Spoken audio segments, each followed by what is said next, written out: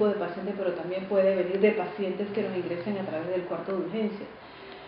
Todo hospital debe tener normas que, muy estrictas de bioseguridad, un comité de infecciones nosocomiales funcionando, y eso es lo que estamos tratando de hacer en este hospital que está muy nuevo y que queremos que sea un gran hospital el día de mañana.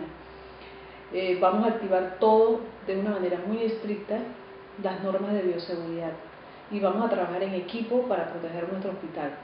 De hecho, estamos eh, conversando mucho, estableciendo protocolos y participando activamente en la evaluación de los pacientes que van a ser trasladados a este hospital. Queremos que la comunidad lo vea como un acto de solidaridad porque todos somos seguro social.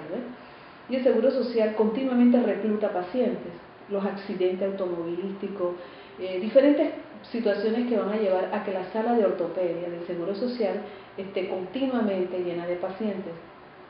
A este hospital será trasladado los pacientes, algunos que están en sala, que van a ser muy bien estudiados antes de traerlos para acá, con cultivos rectales y se va a analizar su expediente y se va a verificar que llenen los requisitos máximos para evitar la posible contaminación de nuestro hospital.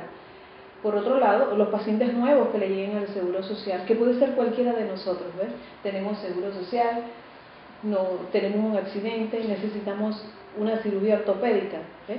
Y lo, lo, ideal es llevarte a un hospital limpio. Que puede los pacientes de ortopedia los que básicamente claro, Por ahora, lo que aprobó nuestro ministro de Salud, a quien realmente ha dado la orden a este hospital de alojar a, a pacientes asegurados de ortopedia, es pacientes asegurados de ortopedia que eh, tengan un bajo riesgo. Ese bajo riesgo se fundamenta en criterios. Estos criterios son que no tengan fiebre, no tengan signos de infecciones agudas, que no tengan heridas abiertas y que su hisopado rectal sea negativo. Estamos fundamentando esto, además en una vigilancia directa de médicos de nuestro hospital a la sala de allá y verificar que este proceso se cumpla. ¿Qué médicos van a tener estos pacientes acá? ¿Los médicos del hospital de la 24 o médicos de la Caja de Seguro Social? médicos especialistas de la Caja de Seguro Social vendrán a valorar, o sea, a cuidar sus pacientes, claro, bajo, esta, bajo la responsabilidad de esta dirección médica, quienes estaremos muy vigilantes de que todos los procesos se cumplan, los procesos de bioseguridad y de debido cuidado de los pacientes, en hombres y mujeres. La sala de de mujeres creo que tiene 35 camas y la de varones 37. Esa es la cantidad de pacientes que pudiesen llegar eh, alojados esa, esa es la cantidad de pacientes que pudiéramos alojar. Recuerde que una sala de, de ortopedia va a estar recibiendo pacientes continuamente, por lo que le dije, las eventualidades, los accidentes eh, que van a dar las, las caídas, las fracturas.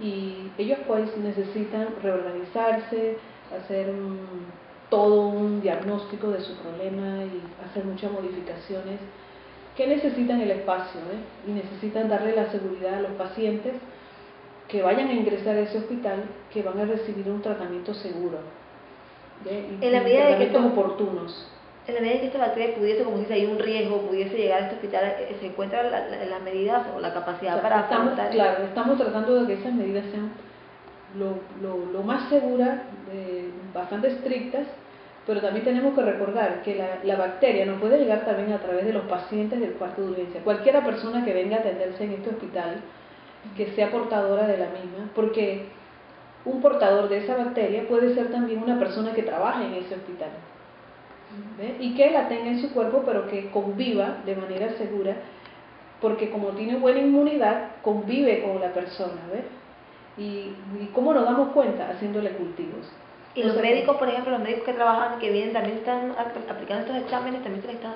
Bueno, esas son posibilidades y que uno realmente pues tomará su medida, ¿eh? hacer eso. Sobre todo esto del lavado de manos estricto para pacientes, para enfermeras, para médicos. Eh, vamos a tener un régimen de visita a sala donde los familiares se van a lavar las manos antes de entrar, cuando salen eh, eh un sistema de vigilancias de cómo el equipo médico en general, enfermeras, auxiliares, médicos, lavarse las manos, porque esta es la medida básica número uno para prevenir infecciones hospitalarias.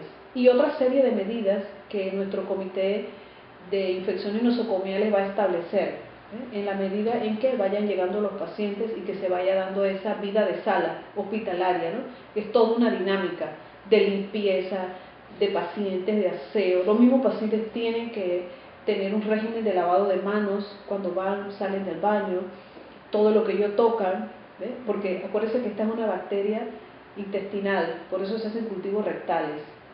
Y, uno, y si todo ese hábito de ir al baño eh, y después lavarse las manos, tenemos que aplicarlo con los mismos pacientes. O sea, tenemos como quien dice una serie de estrategias para aplicar con todo el mundo, desde los pacientes y todos los cuidadores, los médicos, enfermeras, para tratar de que en este hospital se lleve unas medidas muy, muy seguras, muy estrictas en control de infecciones hospitalarias. Eh, doctora, en otros temas, de las cosas que recibimos en la denuncia, es el tema de la falta de personal médico. ¿Eso se ha podido subsanar? Algunos eh, de los pacientes eh, señalan que no trabaja al 100% este centro por el, tema del personal médico. Claro, el personal médico, como verás, no es persona que anda por ahí con un diploma debajo del brazo buscando trabajo.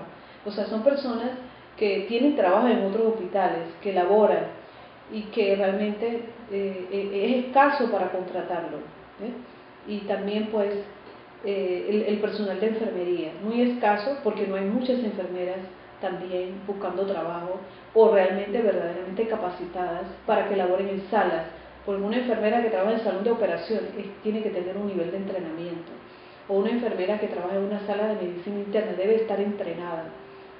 No basta con nombrar una enfermera nueva, recién graduada, debe ser una enfermera con experiencia. Y esa es una de las mayores dificultades que hemos afrontado en este hospital.